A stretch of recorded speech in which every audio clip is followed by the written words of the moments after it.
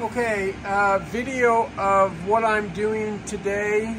I have the uh, Protomax water jet set up here uh, from Omax. And I have the uh, Protomax software set there, which is the software that operates the water jet. I have the IntelliMax software set up there, which is the software that you use to edit your design. Uh, and so the model above is a model I've cut before, that's the Rocky Mountain Elk Hunter, and the model below is a brand new model not yet named. I have my steel lined out. Um, I've marked out uh, an area that should fit, and I've ran a dry run. I've set my um, stream deck up here in order to be able to operate the water jet. So right now the water jet is at the end of its path, but it's not quite where it should be as far as path home. So I have a button on here that says return to path home, and I can click that and it'll automatically go through and change that and move it to its path start.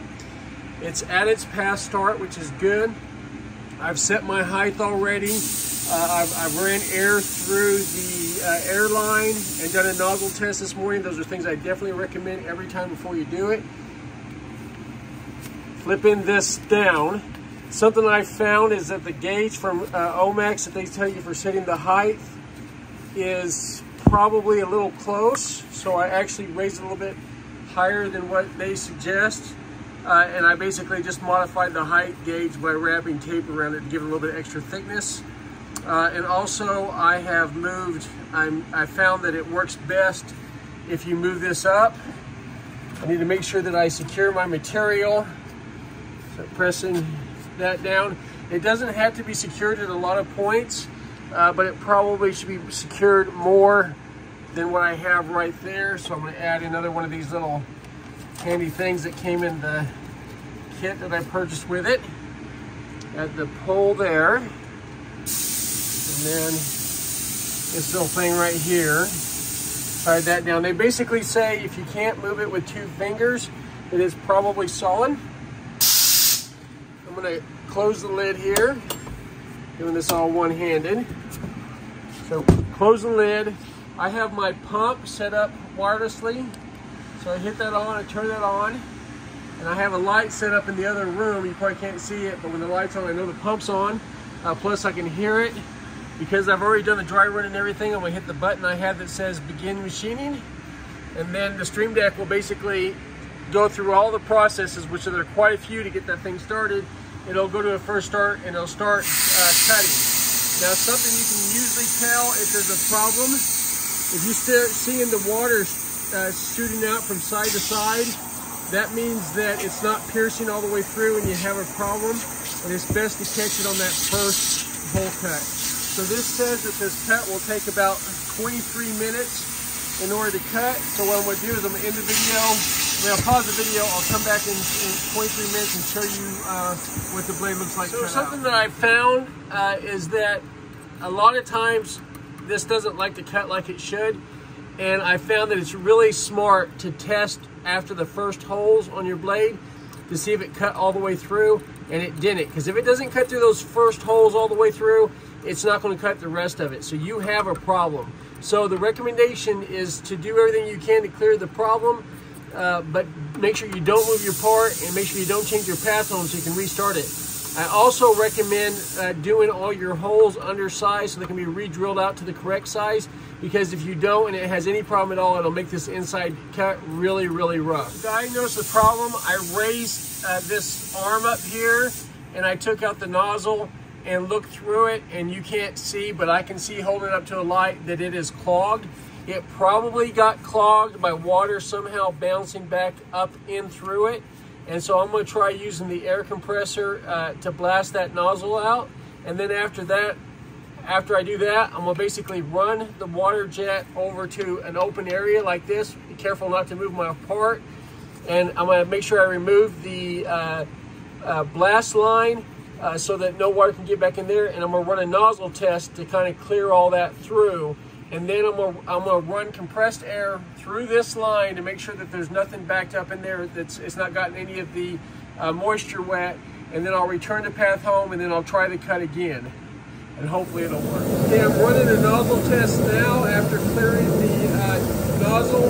That'll make sure that the nozzle is completely clear. I've, I've uh, cleaned out the uh, rain compressed air through the abrasive line also. This will be a minute long test. I'll let it run that time and then I'll retry I ran the nozzle test. I cleaned out the air line. I returned to path home. So I'm at the same starting point I was before. My material wasn't moved. I'm gonna hit begin machining on my stream deck. It's gonna go through the thing to start the process. It's gonna move over because I, my part didn't move um, and I didn't change my path home. It's gonna go through and try to cut the same hole. So we'll see if that looked like it, it and it, it faulted out because I hadn't turned my pump back on. So that's, that's something you gotta remember to do. So I'm gonna hit close and I'm gonna go ahead and uh, return to path home again.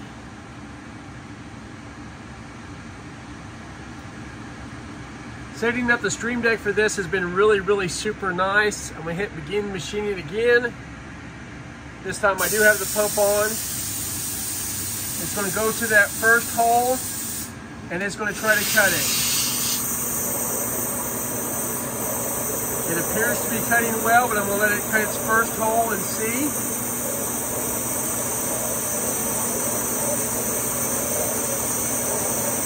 It says this is a 23 minute cut, but I won't make you sit through all of it to see if this first hole goes through. It looks like it's cutting well, it's hard to tell. When I open the lid on this, it'll automatically stop the cut, so I'm going to wait till it's in a travel path and we'll clear that cut, and then I'm to open the lid. Okay, open the lid before it starts, and looking at the hole, and the hole looks like it cut uh, properly. It also looks like it might have moved slightly on me. I'm not sure. If it did, it's because the part moved. Uh, so I think everything's okay though. I did the hole undersized. And so I'm gonna stop this and then I'll come back later after it's cut and let you know how it did. Okay, so it's been 23 minutes later and the parts are cut out. Not 23 minutes since I first started trying because as you recall, I had issues I had to re-deal with. And like I mentioned before, I apparently moved the uh, material a little bit whenever I uh, restarted it. So the holes on uh, this Rocky Mountain elk hunter are slightly um, off. There's basically two little holes. I think that's okay uh, because um, it just means that I'll have to uh, drill the holes out for this uh, through the block using this. So basically I'll have to enlarge this and then go that into the block of the handle. And it creates an extra hassle. I wish it wouldn't have done it, uh, but by the time I'm done, I'll have perfect holes uh, for the, the quarter inch holes that I use for doing the removable handle scales. This one looks like the handle scales came out perfectly. Let's see if it pops out. So this one, uh, which is a completely brand new model, um, it looks like it came out really good.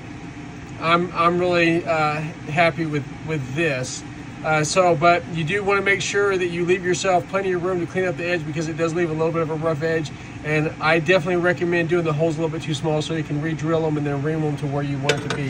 Uh, but overall, I am happy that I have the ProtoMax, uh, but I have had a lot of issues uh, like this with it. So it, it's definitely not as nice as I'd like it to be, but overall I am happy with it.